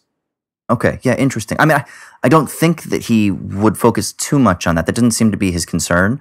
And if he's kind of presuming, especially with his first principle, at least at this point in, uh, in the 70s and maybe prior, if he's kind of presuming this idea of liberal rights, he has some sort of like essential understanding of what the human is, it seems like. Yeah, I wouldn't be surprised if there's something underlying that, although I'm sure he wouldn't say that exactly. Um, but I will say right. again, in Justice as Fairness, he does come out and basically say inequality has different effects on people than I previously thought. And mm. um, it's, it's it's sort of a it has bad consequences in and of itself, just as inequality. Um, and therefore, we have to reconceptualize whether or not inequality can be a good thing if it maximizes the the worse off. But anyway, okay, yeah. Cohen's point is he's going to address this more in the next chapter, the final chapter of the of the book. There's two mistakes you can make in addressing this concept of blame and whether or not it can be applied to individuals. One mistake is to go down the full social conditioning route and say the entire concept of blame is totally misapplied. And anytime someone does anything bad, it's because of the social and material conditions that they exist in. Um, it, that's more like, you know, excusiology type of thing mm. than anything else. Mm. Um, and no one, I don't think, really believes that. Although sometimes on occasions we tend to bring that stuff up, usually in order to rationalize our own behavior or someone else's behavior we like. Um, and then there's the opposite end, which is the full individ- individualization route, where the blame is solely on the person and there's no account whatsoever of the conditions from which they acted or um, anything else. And that's like the more kind of traditional Christian idea, right? You're fully accountable for your own actions and that's it. And both of those are mistakes, he thinks. For, I think a lot of the same reasons that we've been talking about, that you have to conceive of both at the same time to have a full account, right? Mm. And so he calls them the four factors. Um, one being the coercive structure, right? That Rawls has been talking about. Two being the other structures in society, religious, familial, um, whatever else may exist that are sort of quote unquote non-coercive the social ethos, which I'm very interested to see what else Cohen says about this because he's been talking about social ethos a lot and it's very abstract and vague. Uh, but it's something about the sort of system of affect and feelings and motivations that we all have that influence each other in some important way. Um, mm. Kind of religious in a sense. And then the individual choices that we make. And he thinks we have to judge this last one um, in concert with the first three you can't individually take out that last factor and judge it all by itself. Mm. So something about blameworthiness and probably the, you know, the opposite praiseworthiness is going to be bound up with analyzing all four of these points. Mm. Yeah. I'm, I'm really interested in this question too, because I, I have very unformed thoughts about the issue pertaining to culpability complicity, blame, and then like debt and guilt relations. And I'm really curious to see how he further develops this because um, just immediately, I don't think that complicity, culpability, responsibility, blame uh, necessarily connect in such an easy way. Like just because you are culpable for something, I don't know that therefore you are blameworthy. Right? And I think that those are two separate questions. But in uh, more punitive societies, they conflate them. Right? And if you are complicit in something, you therefore also bear the blame for that, and you therefore ought to be punished uh, because of that. So it's like there's a, a, a streamline from complicity, participation, um, to responsibility, to blameworthiness, to therefore an enactment of justice, um, which is like a punishment. And I think that there's something inherently problem, or uh, there's something extremely problematic with that. And I yeah. feel like he's he's going to confound that a little bit. Yeah, that's the second mistake, right? It's the full individualization of blame. Right. Uh, but at the same time, Um, the opposite move is to just blame the structure by itself, right? In that case, I can produce a reductio to that. Dick Cheney's an asshole. Um, and I fully blame him for a lot of terrible things that have happened to the world. Not him alone, right? Not him by himself, right? Mm-hmm. Certainly, there are other factors that influenced and had sort of motivational effects on what he did. But I guarantee you, if I was in Dick Cheney's place, I wouldn't have done that shit, Mm. right? Or if someone better had been in place. So I can kind of produce this kind of factual reductio here um, to say that both of those um, kind of naive, simple accounts of blame, it's all the individual or it's all the structure, just don't give you a full account. So there has Yeah. to be some problematic there um, to resolve. he talks about this a little bit, and I was thinking about this a lot, especially with the issue of sexism being at the forefront of our cultural ethos at the moment, or our cultural kind of like tide at the moment. And I was thinking a lot about how people, you know, are, are looking back at people from like the 50s and 60s or 70s, you know, Dustin Hoffman, for example, and how people are saying, oh, he treated women poorly in like the 70s or some shit like that, right? And then other people are coming out and like, yeah, but that was like just the, the times were different, you know? And there's this, That's There's such this- bullshit. yeah there's a problem that's set up there right? And it's like okay so so how do we understand? And i think cohen even talks about that right? Like if like somebody treats a woman in a sexist manner like if it's a husband in a thoroughly sexist society something i, I don't remember the exact example. Um, but it's it's trying to figure out how do we understand somebody's com- complicity and then at the same time recognize that they are blameworthy.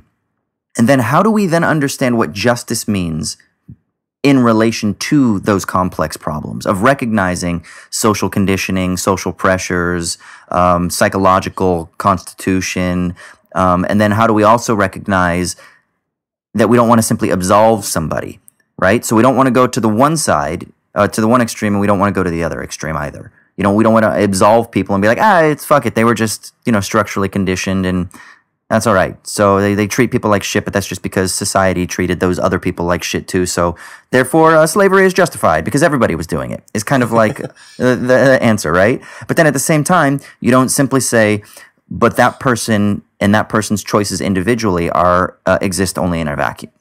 So how do we understand that difficult sort of like cross contamination there? Yeah, super simple, right? Fuck, man. I know. I know, but it, it's so fascinating to me. And I think right now, the way that I can I can comfortably uh, articulate it is that I just think that that a lot of this has to do with our theories of justice. And I think that that uh, like retri- theories of retributive justice are inherently insufficient because they can only operate by creating that streamline through there, uh, but through all those various different points, and then punish the individual. Right. And I yeah. think that that retributive justice is fundamentally insufficient precisely because it cannot think through these complex issues. Right. And then Cohen's introducing the obstetric model of Marxism as sort of the opposite end, the polar opposite end of the full structuralization. Right. Yeah, it's Um, it's almost an accelerationist criticism.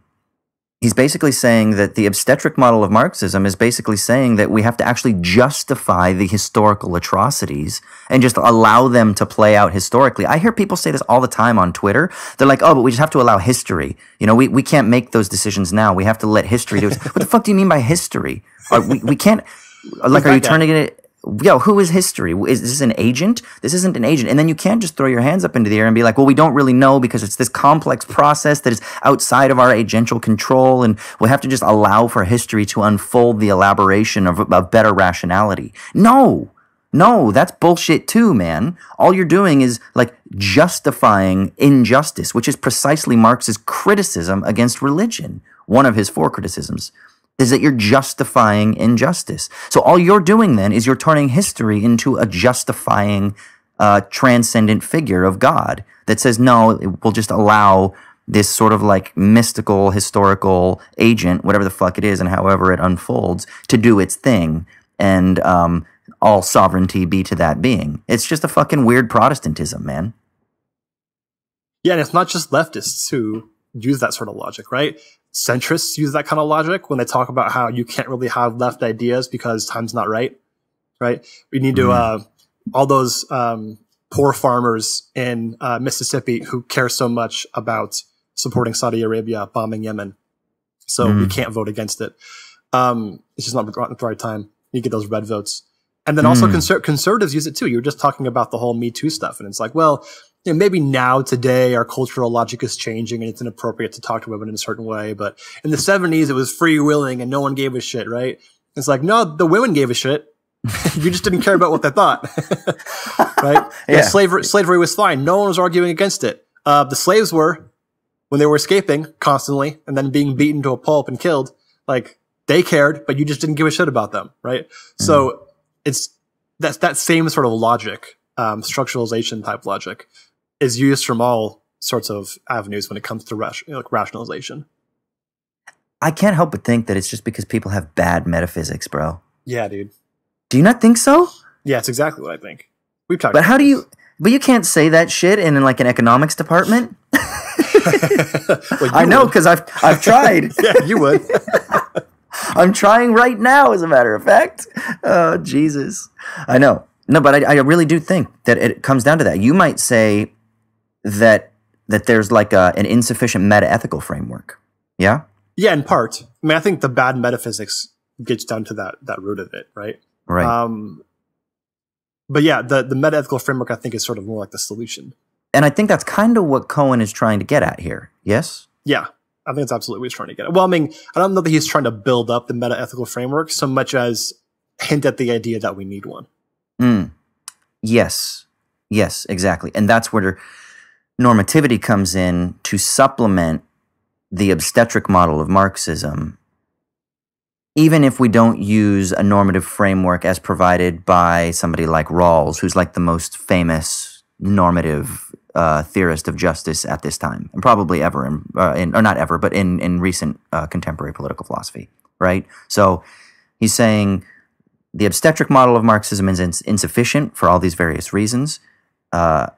Therefore, we need some sort of normative metaethical framework, but we can't use those metaethical frameworks of like the the kind of bourgeois welfare state kind of theorists that is are, are popular and most popularly articulated by Rawls.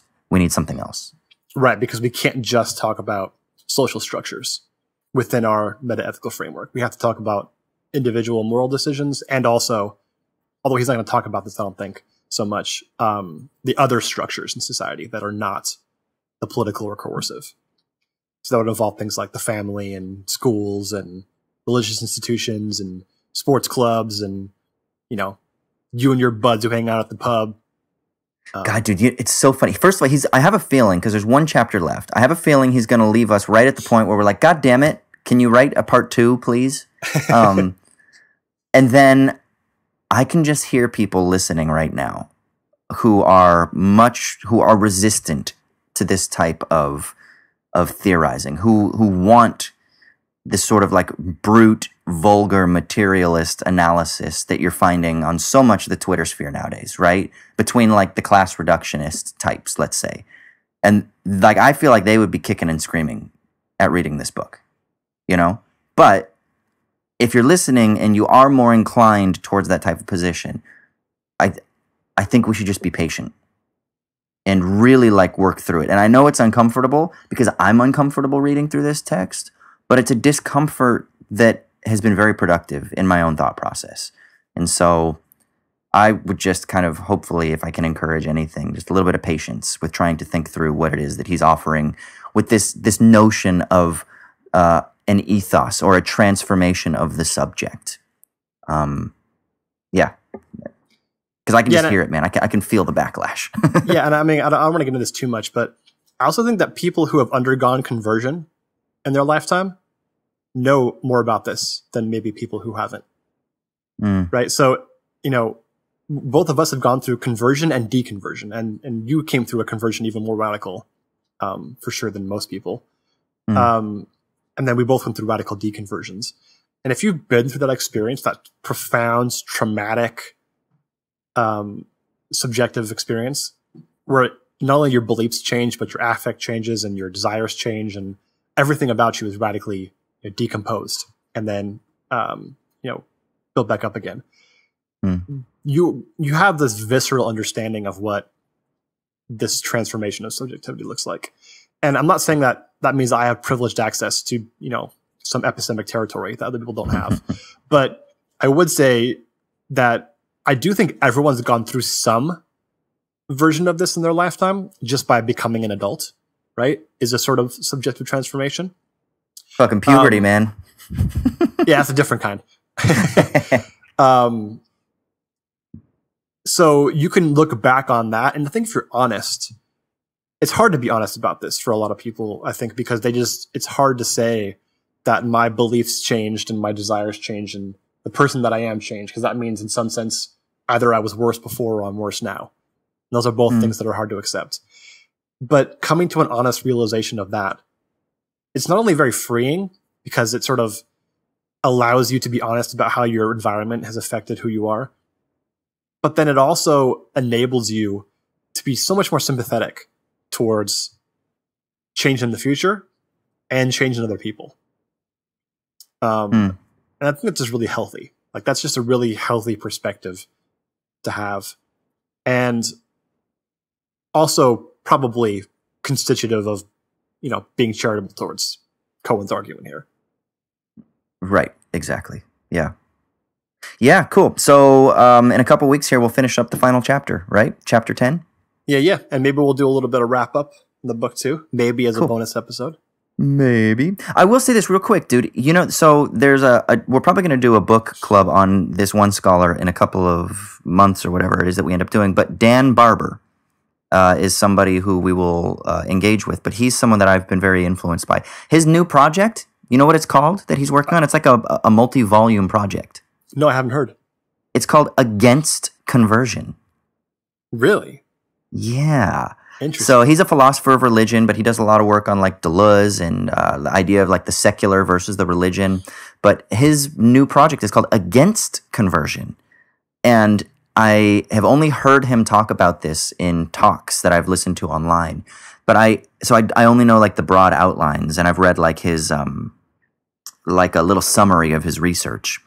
But I'm really curious to see what it is that he's arguing because I think he's going to be critical of certain, let's say, political philosophical notions that derive from a sort of Christian motif that has embedded within it this notion of conversion.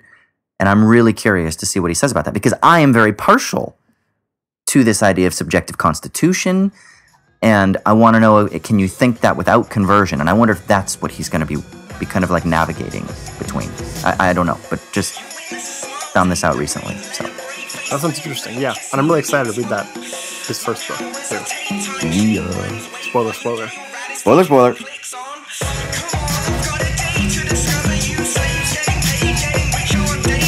All right, sweet. So now let's move to our final segment of the first episode of 2019. It's Sticky Leaves, man. This is where one of us gets to explain what it is that's giving us meaning in a world that is potentially void of meaning. So, Troy, what's got you feeling all joyous? So the semester uh, ended in middle of December for me, right? And then I had a bunch of Christmas stuff going on, and I was really busy. Once that's all over, I usually like to kind of, as a tradition, take like a week and just spend several hours a day playing a video game to kind of Oh, decompress, yes. get my mind off of all the academic stuff and all the responsibilities, and just kind of focus intently on one thing. Um, it's really relaxing and chills you out. Kind of helps you get back and ready again for the you know upcoming year. Mhm. So this time I played a game called Undertale. Have you ever heard of this? no. What system?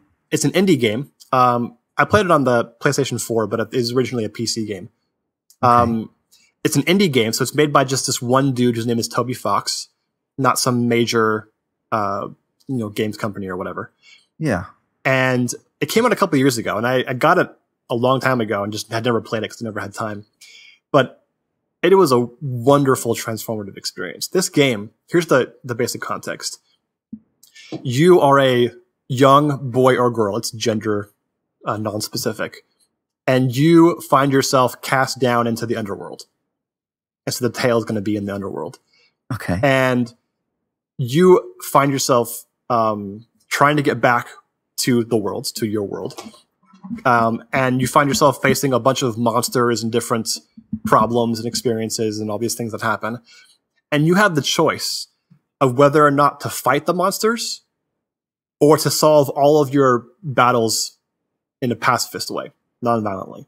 So in every Okay. encounter, you have the choice about whether or not you want to fight or not fight.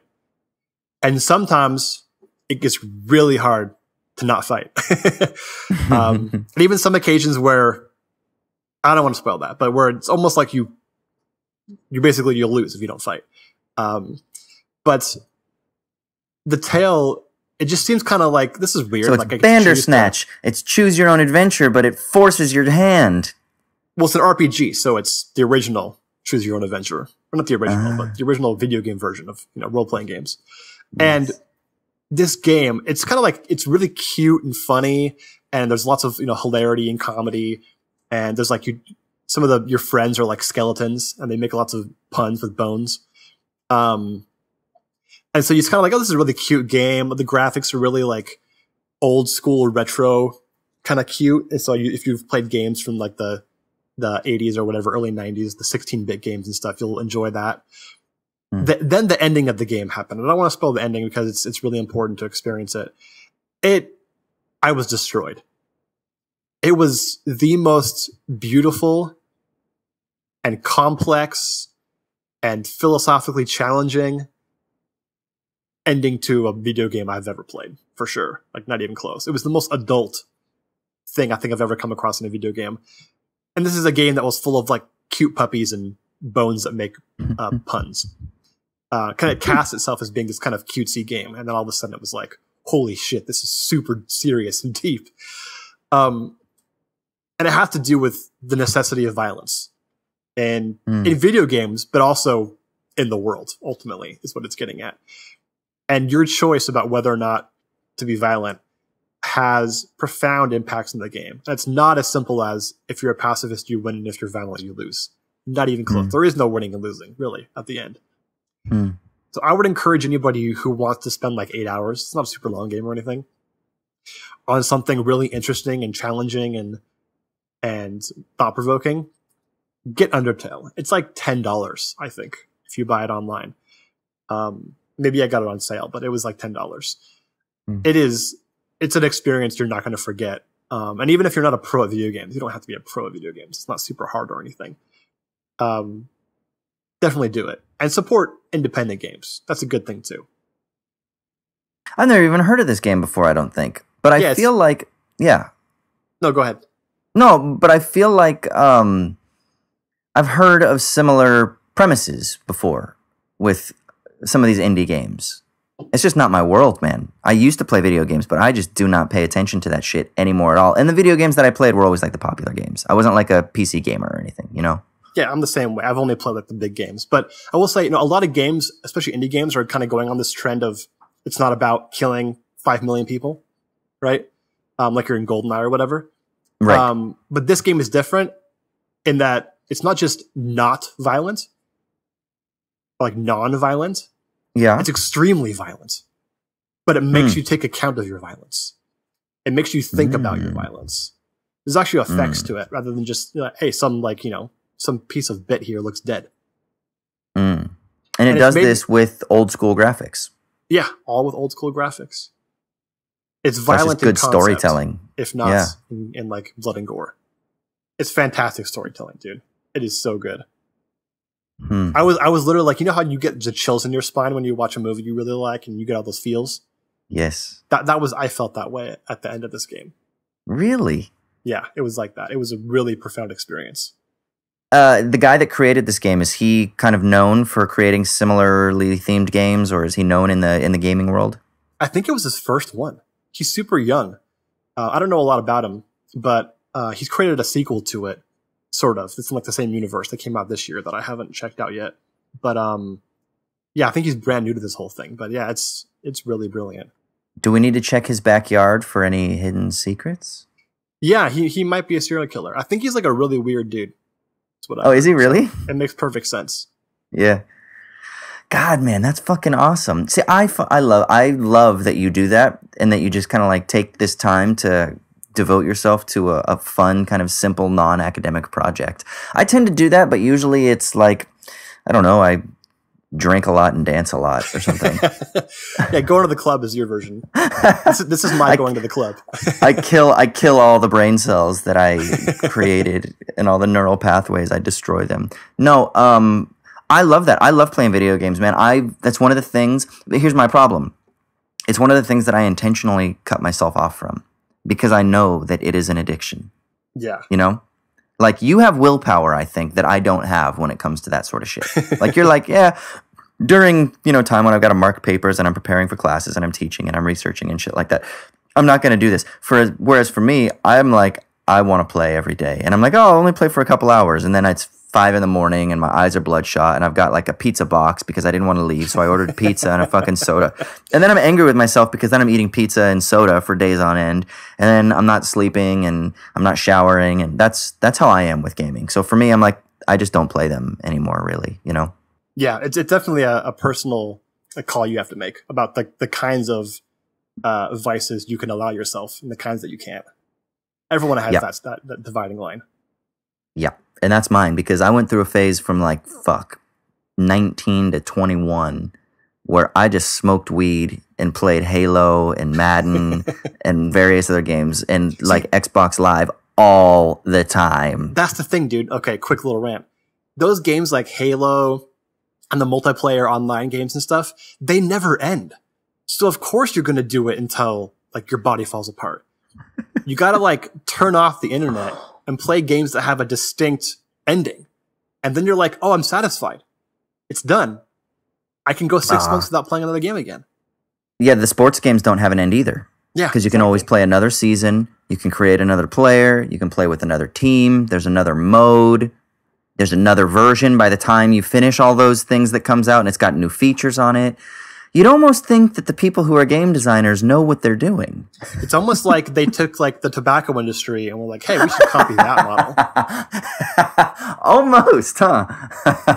Uh, well, awesome. I mean, the game sounds fucking rad. I I'm excited. Like, I want to play the game now. I want to go on holiday uh, and stay with like a friend, and there's a TV and a console and one game, and it's Undertale, and I want to play it. Like, that's what I want, and then have it just be like a weekend thing. Yeah, that would be super fun. That's exactly what it was for me. It was like three days. It was awesome. Yeah. Okay, that's what I want to do. All right. Next break. That's what I'm doing. I'm gonna find I'm gonna find an Airbnb that happens to have a PS4 and a version of Undertale. That's the only criteria. I don't care anything else. The Airbnb would be my house. yeah, exactly. I'm coming. Uh, all right, guys. Thank you so much for tuning in. Um, we'll go ahead and wrap it up here to this long ass episode. We got one more episode of the Cohen book. We'll probably do that in a couple of weeks. Um, so stick around for that. Uh, if you want to go ahead and follow us on Twitter, owls underscore at underscore dawn. You can hit us up on Facebook. Just search for owls at dawn on Facebook so you can keep abreast of what's going on with episodes when they get released and whatnot. Uh, we're on Spotify, so if you're not listening to this on Spotify and you know you're still streaming or downloading off of our website or through some other kind of convoluted process, and you'd rather kind of just do that, you can go to Spotify now. Uh, you can email us, owls at dawn, gmail. I'm sorry, owls at dawn podcast at gmail.com. I did it again, Troy. and what am I forgetting? I think that's pretty much it, right, brother? Yeah, and just don't forget that if you give us a five star rating on iTunes and write a review, and you write a question in your review, we will answer it on the air. Sick. Sweet, sweet, sweet. Anything else we got to say? Just one more thing, dude. What is that? Das Vidania, Amerikansky.